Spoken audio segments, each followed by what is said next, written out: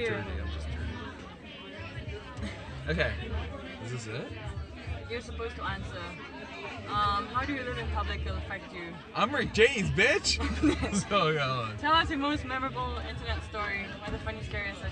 I saw uh, someone connected to Eddie Murphy jump my couch because No I'm. Rick James, bitch. I'm just kidding. what the fuck? What are your predictions for our future with the internet in another 10 years? Okay, fuck How it. will No, technology seriously. Talk- change talk your seriously. life? Talk seriously. I'm reading this thing. I didn't hear it. Talk seriously. What websites did you go to today? Is it porn?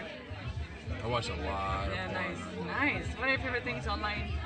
You, you gave me the internet site. What, are, are you your favorite about? things? That's favorite mine? Yeah, you Videos anymore. Honestly, I just want at to the take end of the day, it is what it is.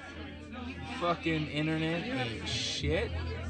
All it is is access to more people. What it explains to you, I mean, Exactly. we don't even know each other that well. We just met. Oh. Exactly. So, wait, Tiger, Oh, Hi, Tiger, okay, we're okay. still being, we're still being interviewed. Oh, that's it. Nice ass. Anyway, yeah, take care, mate. Oh, they're taking pictures! Take a picture. Just stay in and take more pictures. it, take more picture. Yeah. Close the door. You're.